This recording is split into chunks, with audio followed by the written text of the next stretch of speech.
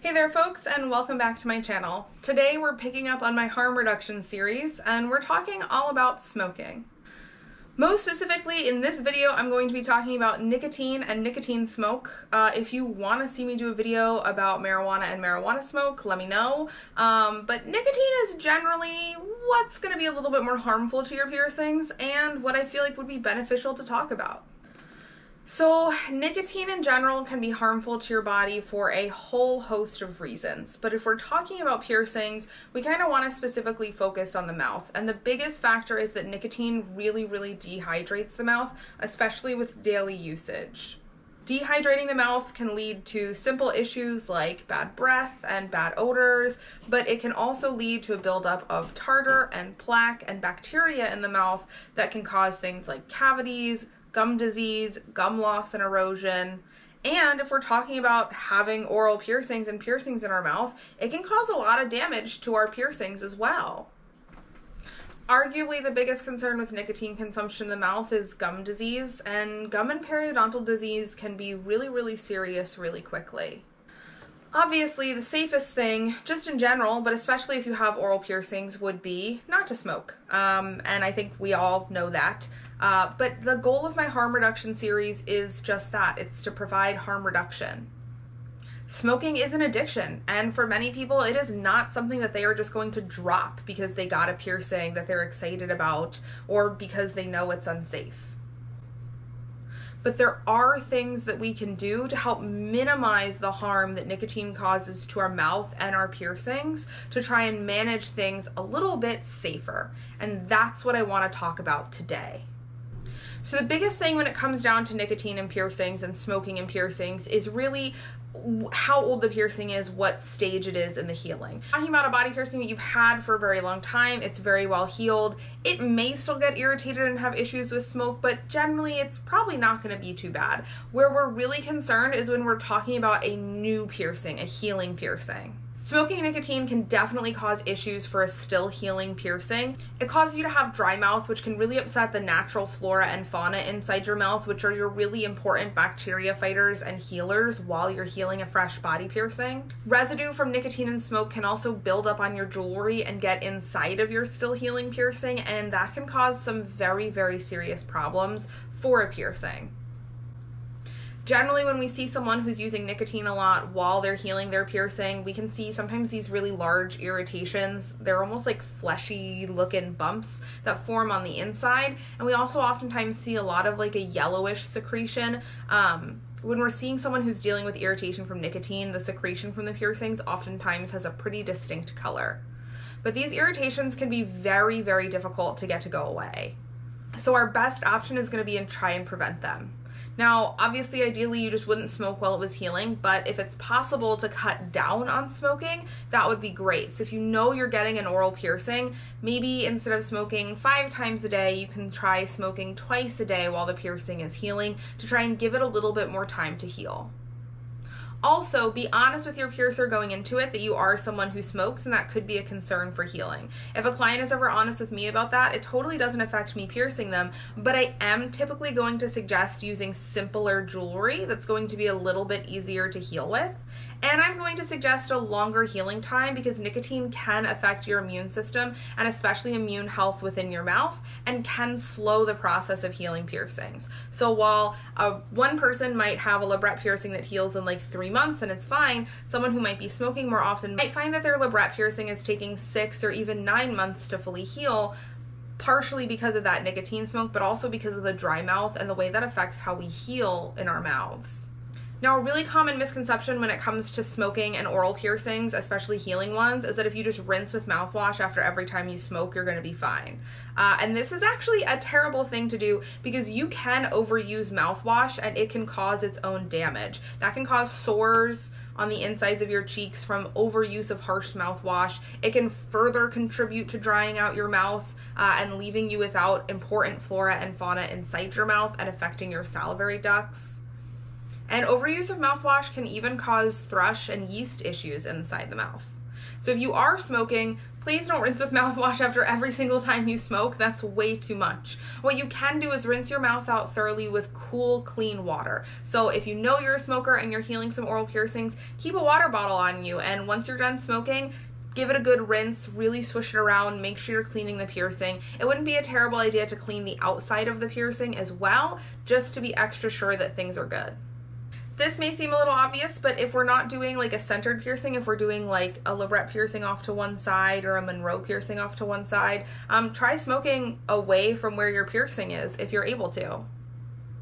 Also, be gentle in how you smoke. The suction created by inhaling very sharply can sometimes cause issues and irritation for people while their piercings are healing, so just try and be gentle with how you smoke and take things a little easier.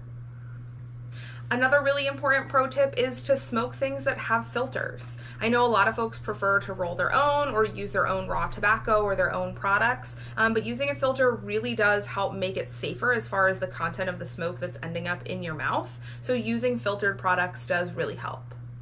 And while this video is not about this, I do think it's worth mentioning that chewing tobacco is definitely like the worst thing you could do as far as uh, nicotine and tobacco products with oral piercings. Uh, so if you are someone who chews, maybe really think about switching to smoking if you're healing a lip piercing or an oral piercing are someone who's a smoker and you're getting a brand new oral piercing, be honest with your piercer. There's oftentimes a lot that we can do to work with you during a healing process to try and make sure that things heal a little bit better and also just keep an extra eye on things to prevent any irritations that may occur from smoking. Now, if you have healed piercings, the best thing to do is just really maintain them well and keep them clean. Make sure you're brushing, flossing, rinsing two to three times a day and incorporate cleaning your piercings as a part of that. It also may not be the worst idea to go in and see your piercer for a deep cleaning on your jewelry every couple of months to make sure everything's looking really good. Generally, healed piercings fare pretty well with smoking and nicotine usage. Every now and again, they may flare up and get sore and swollen and irritated, and if that happens, pop back into your piercer to see a checkup. But once they heal, they generally tend to do okay. The hardest part of this process for folks is getting the piercing to heal in the first place, and that's when we want to try and be really careful. Now, of course, I'd be remiss to make this video without discussing some general harm reduction that's really important if you are a smoker as well. Cutting down and temporary abstinence are some of the most effective ways that you can try and manage a smoking addiction. And getting a new body piercing can be a really good motivator to help with that. So maybe for the first week or two that you have your new piercing, you're going to agree not to smoke for just that time period. Or maybe if that's not realistic, you can agree to cut it down. Maybe you can quarter or halve the amount you currently smoke, at least for the first couple of weeks with your piercing to try and help it heal through that healing phase and use working on that piercing as a little bit of an extra goal or a little motivation boost to help you with that. There's also a lot of evidence that switching to a non tobacco containing nicotine replacement product is very helpful as far as quitting and is a lot safer for you than tobacco containing products. I'm going to go ahead and in the comments section of this video below, I'm going to link some resources for tobacco harm reduction that also go over some of the studies and information out about nicotine alternatives that may be better suited to you than smoking and that could also help you whether it's permanent long-term help with dealing with this or whether they're products that you just explore while you have a healing oral piercing and once it's fully healed, you go back to your usual. Either way, I want to make sure that you have access to the options. You can see that there's other choices out there that may make things easier for you to heal, but also be healthier for your body.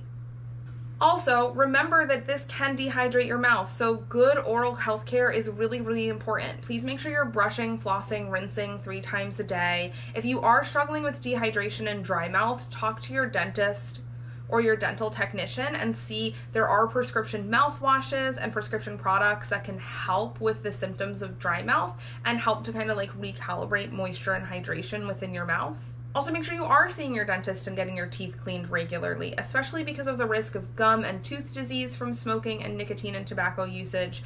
Going in and seeing a doctor regularly and making sure that your teeth are doing good is so important. My page is always going to be a safe space for clients and people of all walks of life. And my goal in this harm reduction series is to share non judgmental information to help folks in different situations be able to get and have the piercings they enjoy and still lead a healthy lifestyle. Whatever your relationship with smoking, nicotine, or tobacco products is, I don't think you need to feel ashamed about it. And there's also nothing wrong with implementing harm reduction strategies. It's awesome that some people are able to just quit cold turkey and be fine, but that's statistically not the reality for many. So please, if you are someone who struggles with these issues, be gentle on yourself, be realistic on yourself. And also remember that harm reduction is an absolutely valid goal if abstinence isn't a goal that is realistic for you or that you're interested in currently. And to any piercers watching this at home, I would strongly encourage you to try to adopt a harm reduction mentality when it comes to working on your clients. Our clients, especially those that struggle with smoking, tobacco, and nicotine, already don't get the best experiences when they go to their dentists or their doctors usually, and the last thing they need is a similar experience from us. We can be realistic about the concerns that smoking can cause for healing body piercings while also being realistic about what we can ask the client to do. Simply telling our clients just don't smoke while it's healing doesn't really paint a full picture of their options. Would it be the best if they didn't? Yeah, sure. But is there a lot of other stuff that they can do instead to still heal their piercing and live the lifestyle that's comfortable for them? Yeah, absolutely. There's almost always going to be a middle ground, and I hope this series helps people find it. As per usual, if you like my content, please hit like and subscribe. Your support means the world to me, and I can't wait to sit down for my next part in this series and keep trying to cover all these important topics for y'all. Have a great rest of your day. Bye.